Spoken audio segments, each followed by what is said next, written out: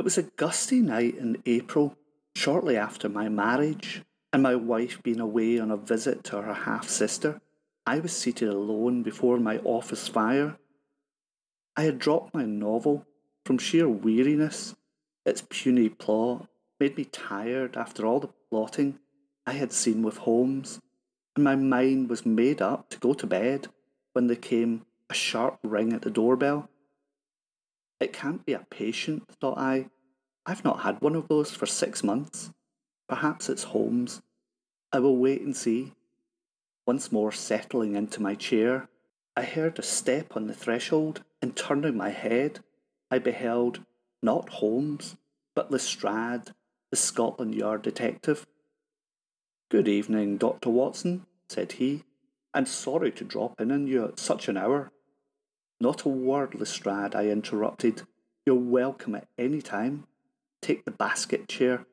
You'll find the tobacco in the coal scuttle, pushing it towards him, and the brandy flask in the clock. Long association with Holmes had made me very much like him in my little household habits. And now, Lestrade, I continued, when he'd helped himself to tobacco and drink, what is it that I can do for you? For a moment, Lestrade hesitated, then summoning his voice, he spoke. Fact is, Doctor, he began, I've been coming to see you for a long time. I've got a little bone to pick with you, Dr. Watson, and there's no sense in waiting any longer before getting down to it. Do you know, Dr. Watson, for if it wasn't for you, I'd be the most celebrated sleuth in Scotland Yard, or any other yard for that matter. You surprise me, Lestrade, I replied, completely taken back by the man's speech. In what way have I hampered you? In what way? he replied, bristling. Why, by spreading before the public all the barefaced manner, all the little understandings that Holmes and I have between us.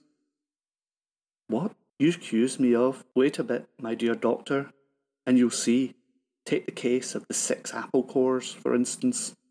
After I had failed, and Mr. Holmes had succeeded, and he had fitted the cores to the skins and traced the apple to Pitt's, the fruiters on Tottenham Court Road, what did Mr. Holmes say?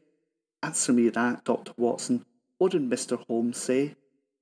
I think he yawned, Lestrade, I said with a smile and added, if I remember rightly, how dreadfully commonplace crime was becoming.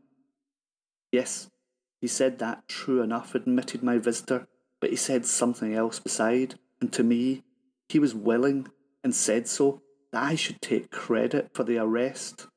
And you don't want your name to appear, said I. Not at all, said he. The work is his own reward. Next thing I know, Dr. Watson, I see on the news stalls the adventure of the six apple cores, and poof, I find myself an imbecile, a fool, a laughing stock of Scotland Yard. Why, my word, it was only today that the Chief Inspector took me on one side and said, Lestrade, we've been thinking of making you a doorman. I won't stand for it, Dr. Watson. I was about to speak when Lestrade renewed his protests. And this isn't the only time either, Dr. Watson. It was the same in the case of the three legged toadstool, and the strange affair of the yellow first mate, and the four cracked eggs, and in the mysterious business of the doorless dog kennel. All was all right until your stuff came out, and then it was, hello, here he comes, gents, London's prize Bobby, everywhere I went. Well, Lestrade, said I, as the detective paused for breath, what do you want me to do about it? Do about it, Dr. Watson, who returned. All I want you to write one Holmes story with Holmes left out and Lestrade in, and nothing but Lestrade, thick, all through it. Just think of my reputation, Doc. A doorman, me. And so, just to oblige him, I wrote this story, for I always did like Lestrade. The end. I hope you enjoyed that. If you did, please like, subscribe, and I'll see you next time. I've been Steve. Bye bye.